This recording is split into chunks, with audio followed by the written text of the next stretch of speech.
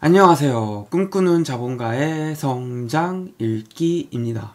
어제보다 더 나은 오늘, 오늘보다 더 멋진 내일을 만듭니다. 네, 오늘은 한 달 만에 월세 받는 쉐어하우스 재테크. 한 달 만에 월세 받는 쉐어하우스 재테크에 대해서 이야기를 해보도록 하겠습니다. 천만 원으로 시작하는 쉐어하우스 창업 바이블이라는 부제가 달려 있습니다. 이 책의 저자는 이경준이라는 분이 쓰셨고요. 출판사는 길벗에서 나왔습니다. 출간일은 2019년 3월 22일에 출간이 되었고 가격은 18,500원입니다. 총 페이지 수는 360쪽으로 된 책입니다. 이 책의 저자는 이제 앙드레 하우스라는 기업의 대표로 계신 이경준 님이 쓰셨고요. 쉐어하우스입니다. 그래서 이 앙드레하우스라는 게 쉐어하우스를 운영하는 회사고 2016년에 처음 이제 1호점을 어, 오픈한 이래로 2019년 3월 현재 9개의 지점을 운영하고 계시다고 합니다. 그래서 초기 초기 투자금을 좀 줄이기 위해서 어, 전대 형태로 그러니까 내가 월세 계약을 맺고 그 월세 계약을 다시 쉐어하우스로 바꿔서 돈을 버는 식으로 쉐어하우스를 운영하고 계시고 이 책에는 이제 입지 선정 인테리어, 뭐 입주자 모집, 뭐 운영 뭐 이런 것들이 전반적으로 다 담겨 있습니다. 그래서 요즘에 뭐 쉐어하우스라는 말이 여러분 많이 들어보셨을 겁니다. 그래서 이런 쉐어하우스를 어떻게 어, 운영을 해야 되는지 또 어떻게 창업을 해야 되는지 어떻게 시작해야 되는지 이런 것들이 어, 모두 이제 담겨 있는 책입니다. 그래서 쉐어하우스에 관심이 있으신 분이라면은 뭐 이 책을 한번 보시면은 음, 굉장히 쉽게 쉐어하우스가 아, 이런 거구나 이렇게 돌아간 거구나 라는 거를 어, 아시게 될 겁니다. 그래서 저는 이제 세 편의 리뷰를 통해서 음, 최대한 자세하게 이 쉐어하우스에 대해서 이야기를 해볼 생각이고 여러분들과 함께 공부하면서 쉐어하우스 재테크를 어떻게 해야 되는지에 대해서 이야기해 보도록 하겠습니다. 네, 오늘은 총 다섯 가지를 이야기해 보겠습니다. 첫 번째, 여전히 쉐어하우스 운영 해볼 만하다. 두 번째, 아직도 수요가 충분한 쉐어하우스. 세 번째, 쉐어하우스가 인기 있는 이유. 네 번째, 쉐어하우스 운영의 매력. 다섯 번째, 쉐어하우스에 적합하지 않은 주택 유형. 이 다섯 가지에 대해서 이야기를 해보도록 하겠습니다. 네, 페이지 24쪽입니다.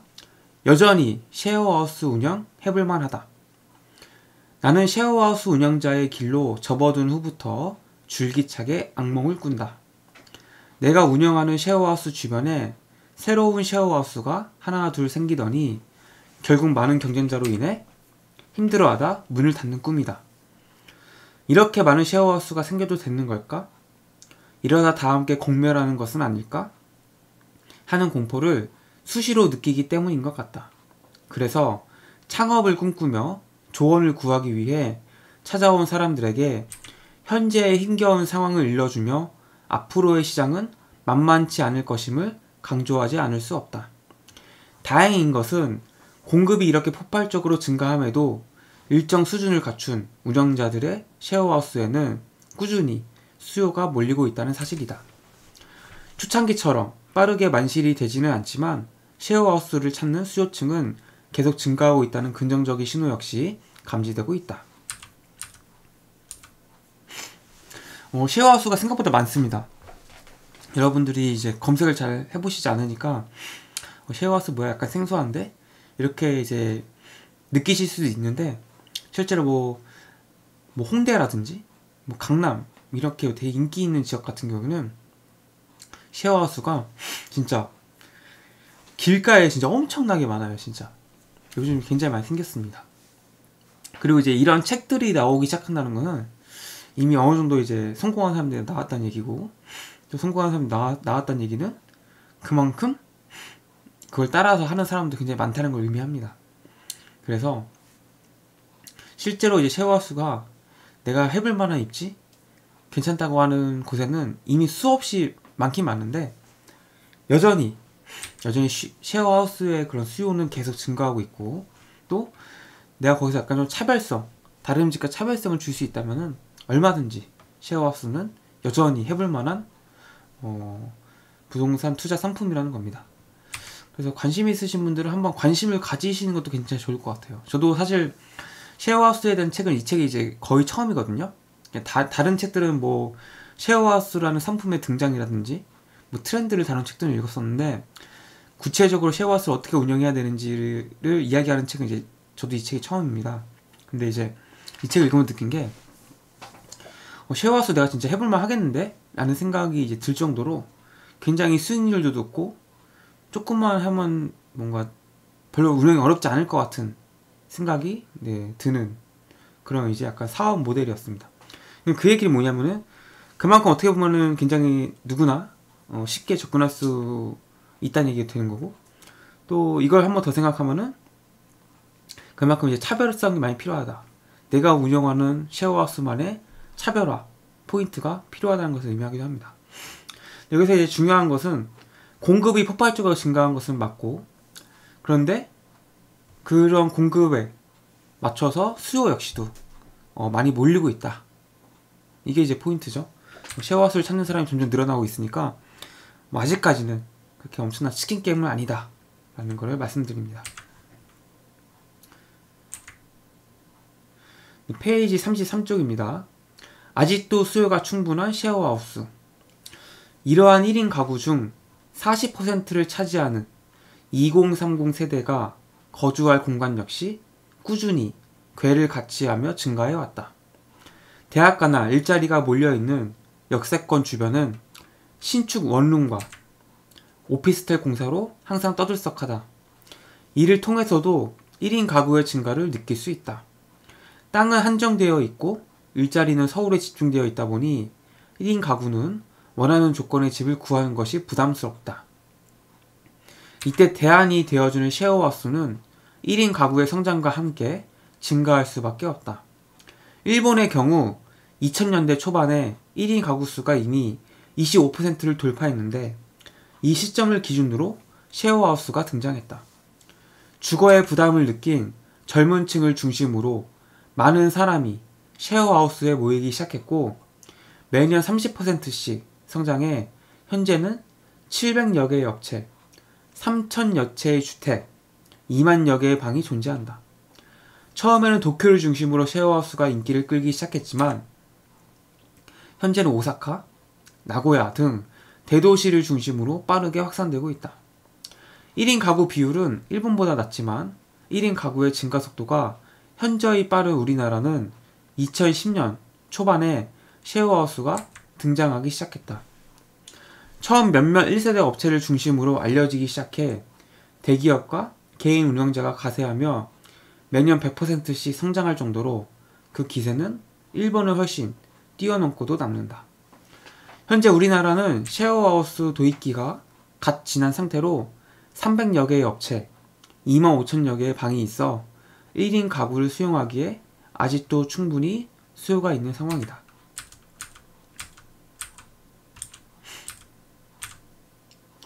네, 아직도 수요가 이제 부족하다.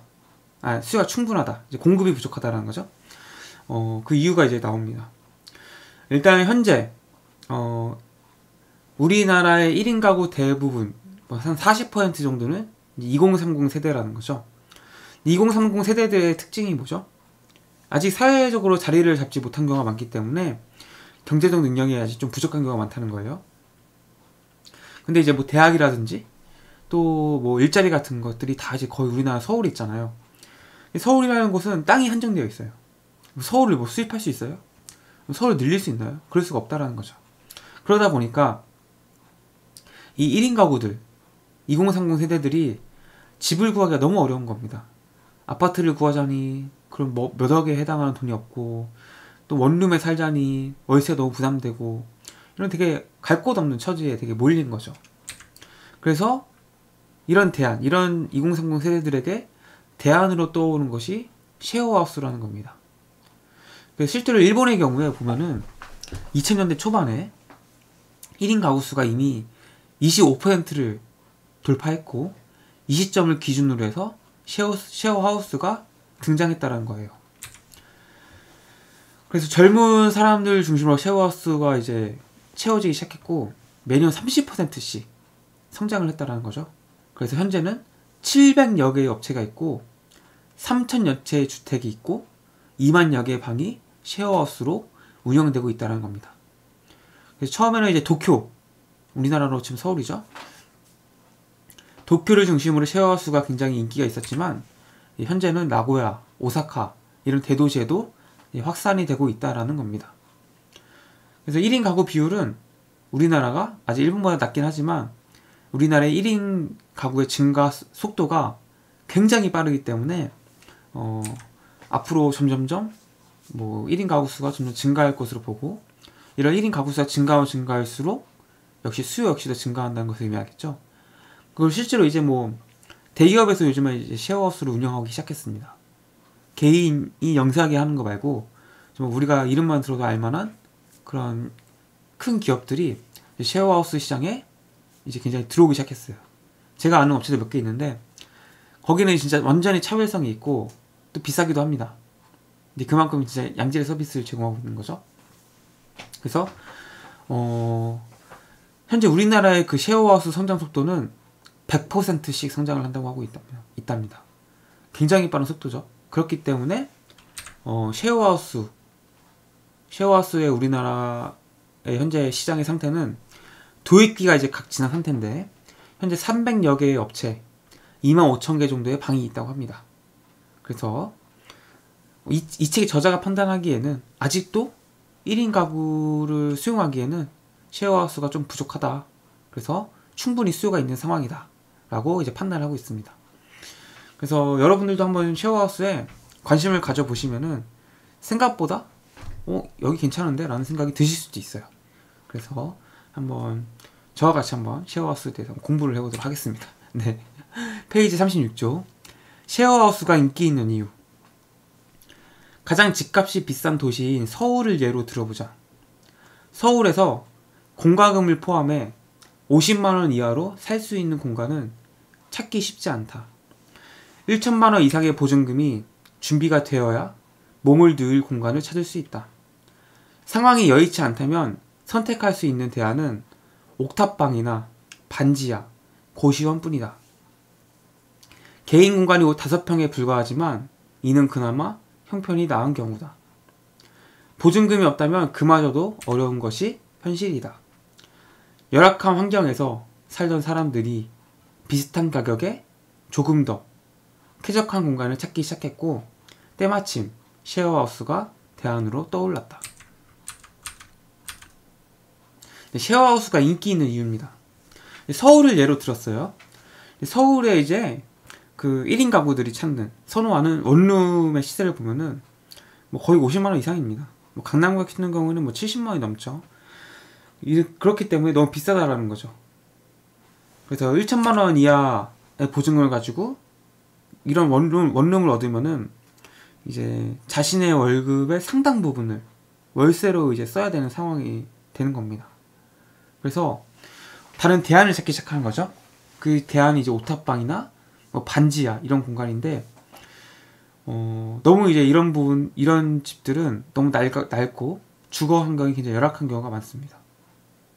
그리고 이제 또 선택할 수 있는 대안이 이제 고시원인데 고시원은 뭐 여러분들 이제 많이 아시겠지만 진짜 누우면 끝이에요 진짜. 개인의 공간이라는 것이 진짜 너무 없습니다. 뭐 창문 없는 곳도 많죠.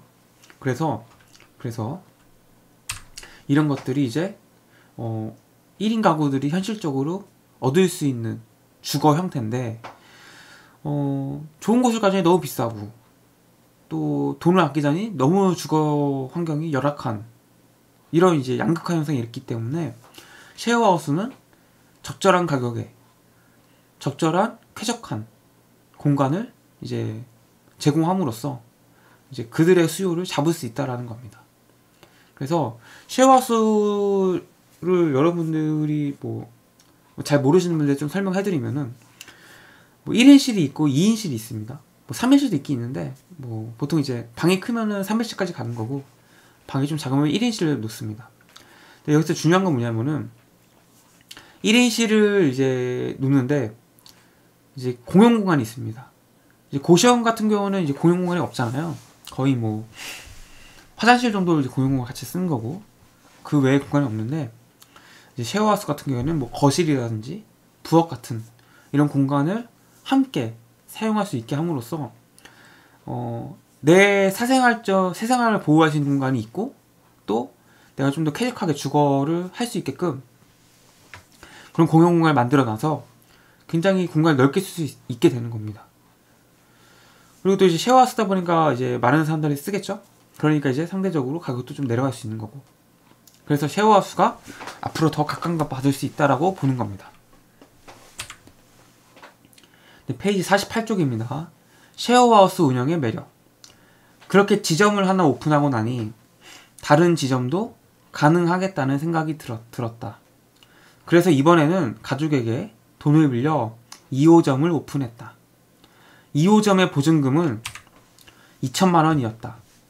집이 깨끗한 상태여서 내부 시설을 갖추는데 800만 원밖에 들지 않았다. 총 2,800만 원으로 2호점을 오픈한 것이다. 이런 식으로 지점을 늘리다 보니 어느새 9호점까지 오픈하게 되었고 카드값과 빌린 돈을 갚기까지 2년이라는 시간이 걸렸다. 그런데 놀라운 사실은 지점은 늘어났지만 희한하게도 투자금은 계속 줄었다는 점이다. 4호점은 방이 7개나 되었지만 1,600만 원에 대부분의 시설을 갖추었다. 어느 정도 과정을 알고 인테리어 기술을 익히자 투자금을 스스로 컨트롤할 수 있게 되었다. 일단 운영을 시작하면 관리비는 전체 월세의 5에서 7% 정도 들어간다. 가구와 가전의 수명을 5년 정도로 보고 실제로 투여되는 초기 투자금의 감가상각을 감안해도 1천만 원 투자 시 연 200만 원 정도가 투자금 수준이다. 또한 계약이 끝나고 폐점한다 해도 보증금은 돌려받을 수 있기에 실제 투자금은 1천만 원이다. 이것이 바로 쉐어하우스 운영의 매력이지 않을까 싶다. 그러니까 이게 쉐어하우스의 매력이 굉장히 이제 적은 투자금에 있는 겁니다. 우리가 뭐 부동산 투자하려면은 뭐 생각보다 많은 돈이 좀 필요하잖아요. 근데 이 쉐어, 쉐어하우스는 어 일단 보증금 필요하죠. 보증금 필요하고 리모델링비가 필요한 겁니다. 이 두 가지 정도가 필요한 거예요. 그래서 실제로 집이 깨끗한 곳을 잘 선정하면은 800만 원 정도밖에 들지 않고 또 보증금 2천만 원에서 2,800만 원이 들었다는 거예요. 2호점 개점 시에. 무슨 얘기냐면 이게 기본적으로 이 책의 저자분은 전대라는 걸 했어요. 그러니까 뭐 아파트가 5억이면은 예를 들어서 뭐 월세가 1억에 뭐 300만 원이 나왔다. 이러면은 내가 필요한 돈은 보증금 하고 어, 쉐어하우스로 이제 바꾸기 위해서 필요한 뭐 리모델링비 그게 필요한 거죠. 그래서 1억 플러스 뭔가 그 리모델링비가 이제 내 투자금이 되는 거예요. 이런 건 사실상 근데 내가 나중에 회수할 수 있는 돈이죠. 거기다가 그것만 있으면 이제 쉐어하우스 운영이 가능한 거죠.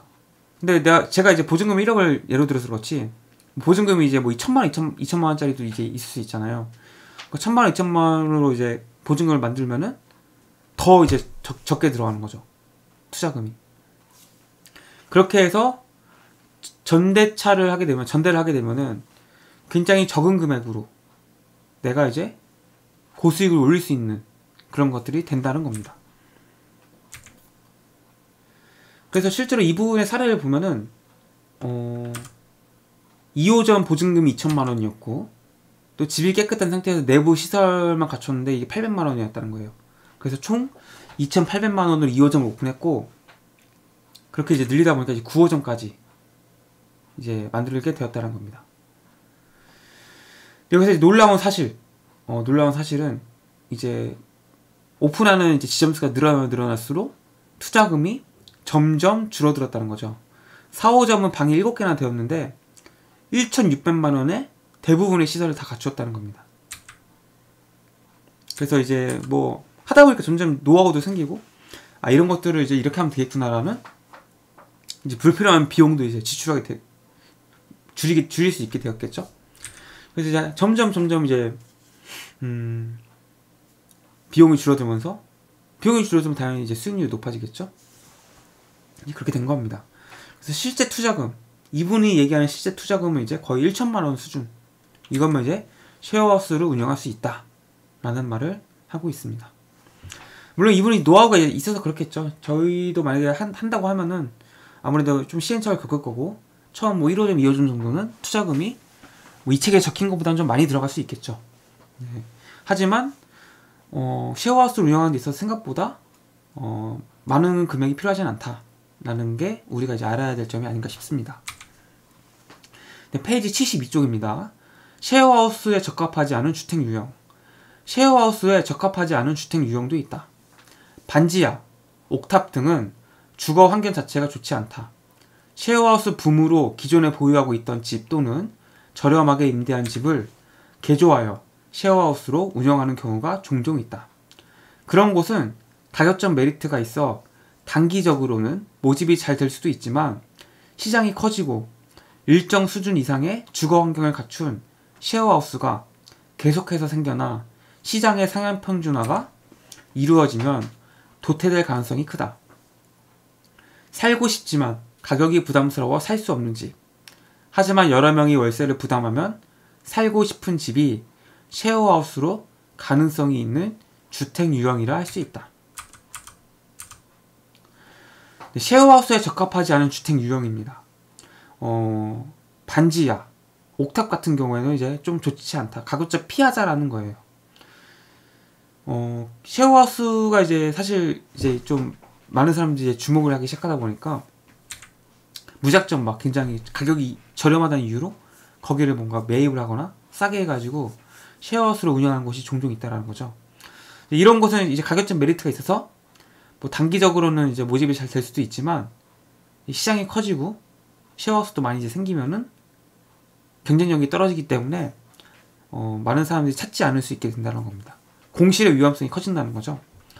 그래서 우리가 찾아야 되는 쉐어하우스의 모습은 굉장히 뭔가 비싸서 개인이 얻기는 너무 비싸지만 함께 돈을 모으면은 어, 누구나 살고 싶어하는 그런 곳에 위치한 곳에 쉐어하우스를 오픈해야 된다는 이야기예요.